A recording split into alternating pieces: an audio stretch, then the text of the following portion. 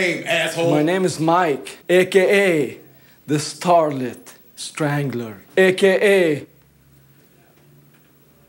your next date. I've been on the lam for a while now, playing hard to get with the federal penal system. Date of birth. I am a Scorpio, so naturally, I am a bit of a diva. What date were you born, you sick son of a bitch? My perfect date?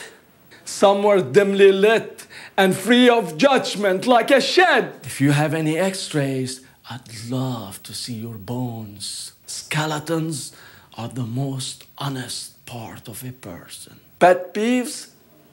Sloppy eaters, ties to the law, daylight, and talking during movies. I guess I am looking for that special someone who won't turn me into the authorities. So if this all sounds good to you, come by and break me out. The address here is one four four five.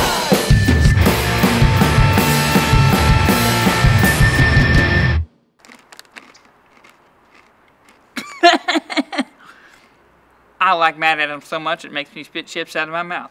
If you like spitting chips out of your mouth, go to madatoms.com or just hit the subscribe button on our channel.